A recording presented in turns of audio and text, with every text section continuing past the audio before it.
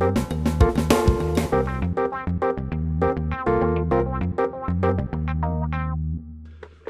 greetings. Welcome to my messy desk or workbench. Um, today I want to talk about a project that I have for a friend. Obviously, this is a wood turning lathe tool rest, and it's a nice curved one that uh, is made for a Powermatic lathe. This is made, in fact, for a 20 inch lathe. And uh, he wants to be able to use it on his Laguna which is an 18 inch lathe. The issue is that uh, the tool post won't go far enough down.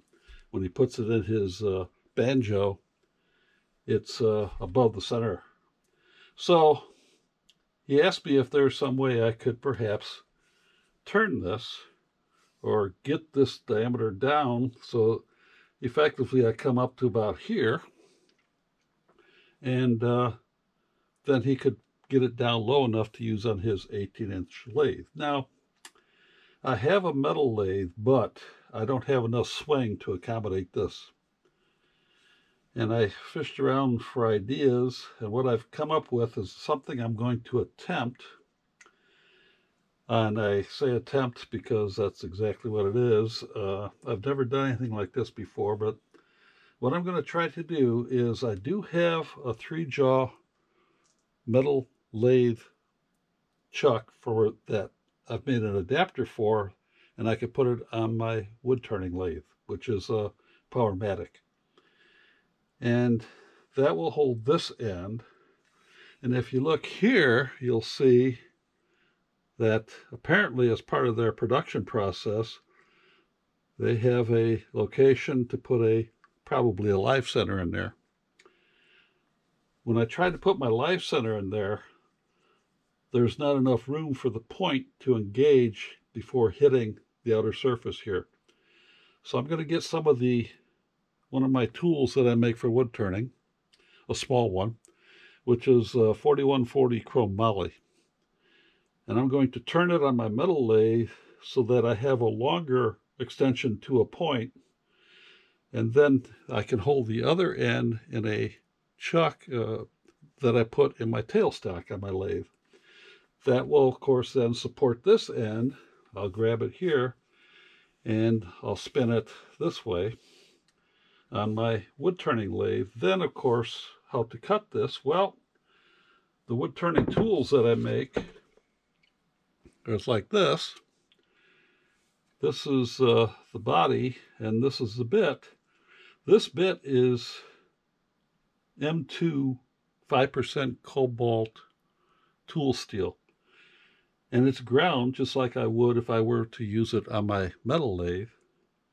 So this will cut metal. I know that because I've turned brass and uh, I've turned copper and aluminum on my wood lathe with this tool. And I'm going to try it on cast iron. So that's where I say this is an experiment. The first step is I'm going to get one of my small tools and uh, cut it down, cut a piece small enough and put it on my metal lathe and turn it so that I have my dead center, which is what I'll end up with, not a live center because it won't rotate. It'll be a dead center, but that'll probably be fine for what our purposes are. And uh, we'll get to that next. So let me show you that process and we'll move along.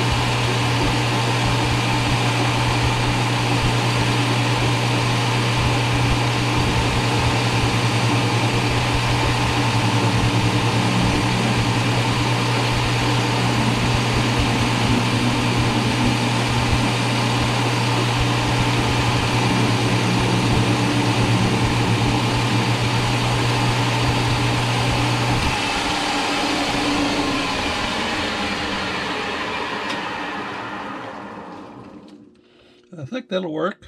So we're going to go try it. Well, it does work very nicely. It just about fits. There's just clearance for the chuck.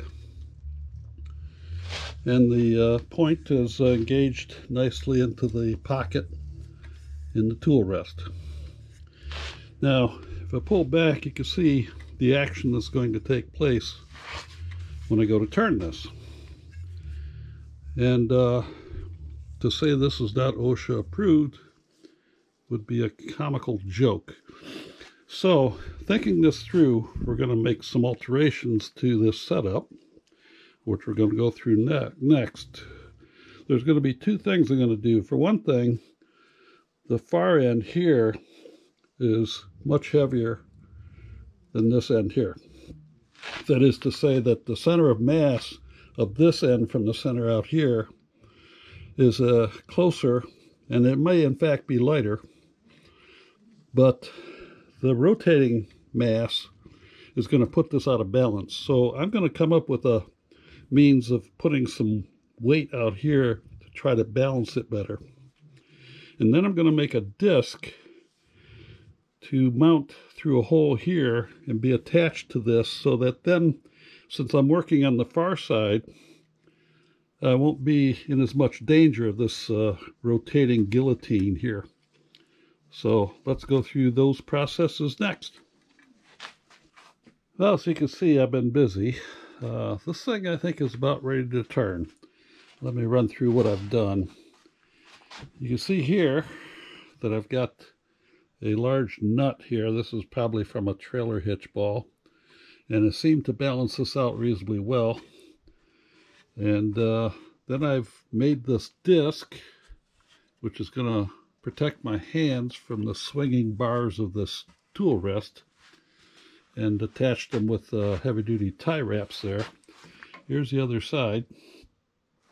So that line is about what I want to uh, turn this diameter up to. So I want to just carry this forward, or up if you will, towards that line. Uh, the tool rest, I have a nice short one that was uh, handmade a while ago. And down here you can see I had to use a bolt instead of the conventional handle, which stuck out too much. This plate has a bit of wobble to it. That's largely driven by the uh, hose clamp that I have holding that nut in place because we certainly don't want that flying off. So uh, with any luck, this will work out properly and I'll be able to complete this job of uh, turning this diameter uh, up to here. So let's uh, get to it. So here's how I hope it to go. I'm going to use my uh, tool here and when I fire this up, you'll see it uh, tries to wobble until it gets up to speed.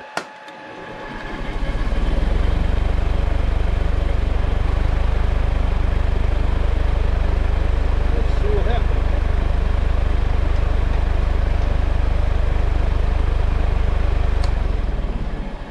Well, you see already, I want to lower this tool rest down a little bit. Certainly at times like this, you want to make sure everything is just right uh, before you ever start. So let's uh, reposition this a little better. think this will work. So I still got clearance. Let's try this again.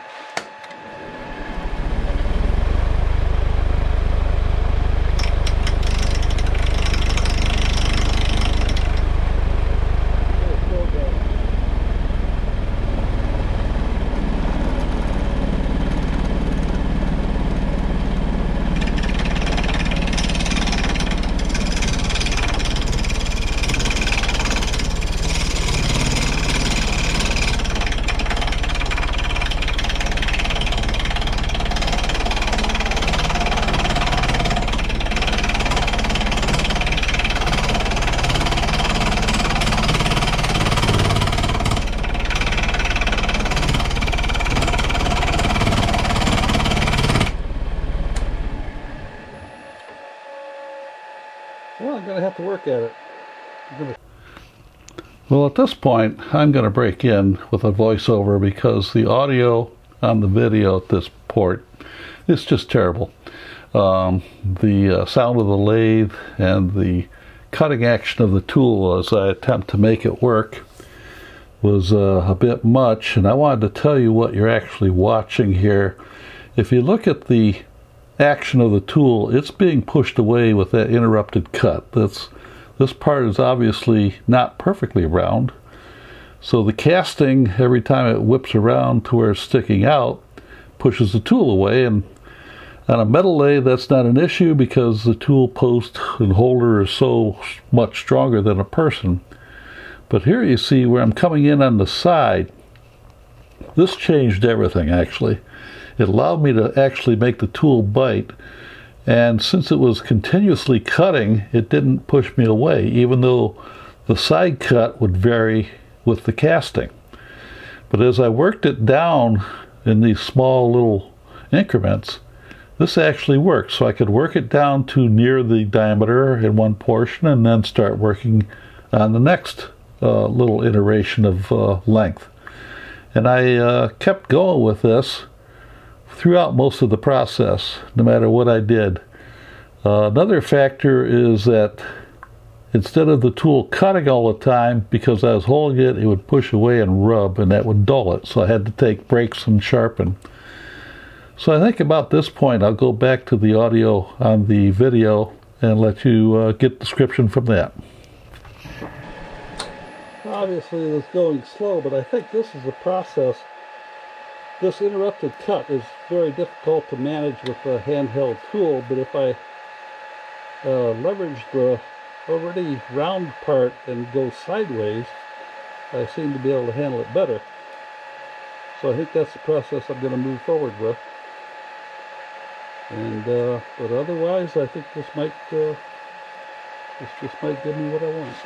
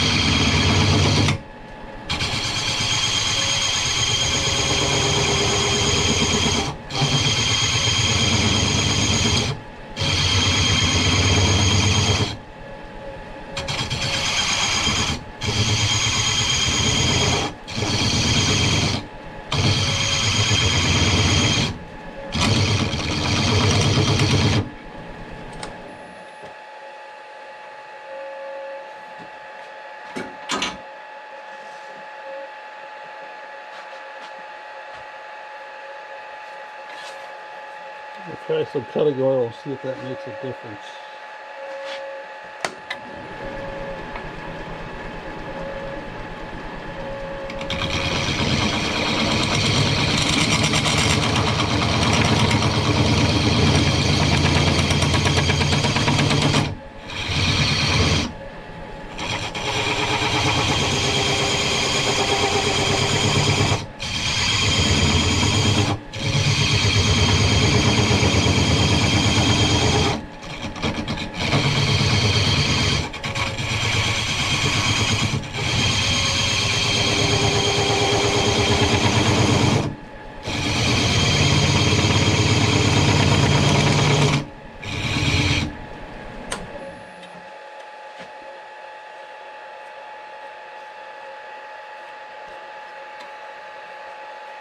Oil makes much of a difference.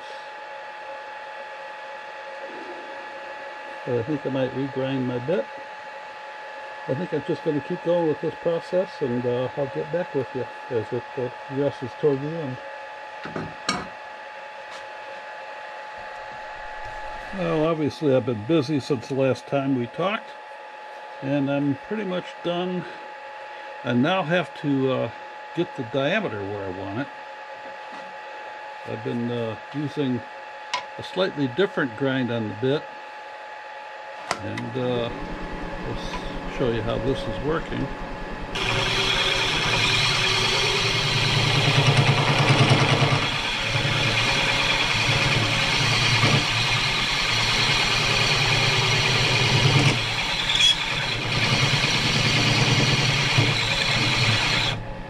It's not as wonderful as a metal lathe would be, but it is getting the job done. I'm going to check uh, dimensions here pretty soon. Uh, in fact, I could probably do that right now. So what I want is uh, this dimension here, which should be just about one inch. Uh, 0.992 and I'm pretty sure this is a little bit big 0.104 1.04 so yeah I got to take uh, 40 thousandths off. And uh, part of that I can do is uh, turn it on and slow it down here and just use this big hefty file. And this will uh, kind of mandate that I get it flat and continuous and uh, work it down with this. And I think that's going to probably be my process to uh, bring this into what I want.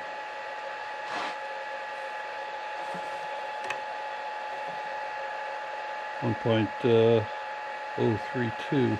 So let me uh, proceed with that and I'll show you the final result. Well, I've finished it up. The uh, tool post has been machined, you can see here. Uh, I've got it mic'd to the same dimension as the rest of it, so it certainly should uh, fit on the lathe when it's put in place. And uh, that completes this project. So uh, hopefully, uh, if you have something like this in the future, I've shown you at least one approach.